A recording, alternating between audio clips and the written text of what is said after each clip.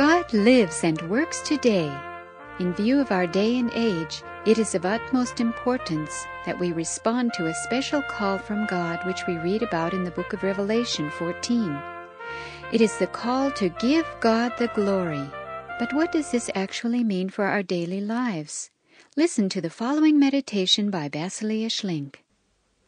It is not by chance that in the end times, before the wrath and judgment of God is poured out on mankind, a mighty angel of God proclaims, Fear God and give him glory, for the hour of his judgment has come, and worship him who made heaven and earth. Revelation 14, verse 7. Worship of God is of tremendous significance, today as never before. To give God the glory means to commit our wills in all earnestness to Him. When God strikes us or leads us along difficult, meaningless paths, when He allows us to experience sorrow and trouble in our families, let us say, Let Him do what seems good to Him. 1 Samuel 3. In this way, we want to give God the glory by our trust, by holding on to the fact that God is a true Father. If we accept our cross in this manner, then in the life to come we'll be most grateful for the difficult paths or suffering. They will have prepared us for glory for all eternity. Yes, if we glorify God in this way, in our own situation, particularly in these last times, then we will comfort Him. In our town, a family had lost an especially dear child. He'd been murdered. When we visited the parents, we were deeply moved that there was no asking, Why? No rebellion or accusation towards God. They received a card from Mother Basilea that had the words written on it My Father, I do not understand you, but I trust you.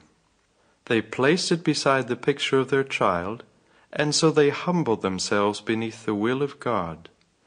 This gesture must have really reached God's heart and brought glory to Him in view of the millions of clenched fists raised up in anger against Him. Today the sorrow of God is very great. The wickedness of millions of His created people, their revolts against Him, yes, their hatred and ridicule of God, and their blasphemy deeply grieve Him just as in the time before the flood. But each one of us, if we glorify God in our lives, even when we can't understand Him, will find His life transformed.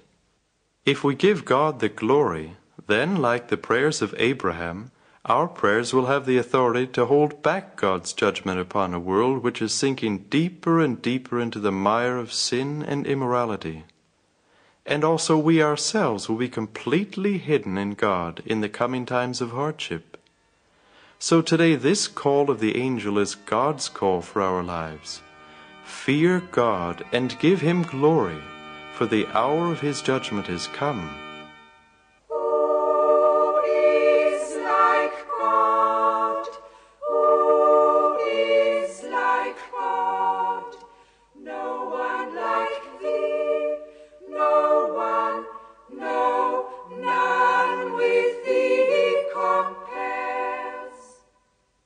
You have been listening to a program written by Basilea Schlink of the Little Land of Canaan. To learn more about how God lives and works today, visit us at our website www.kanaan.org. That's K A N A A N dot org.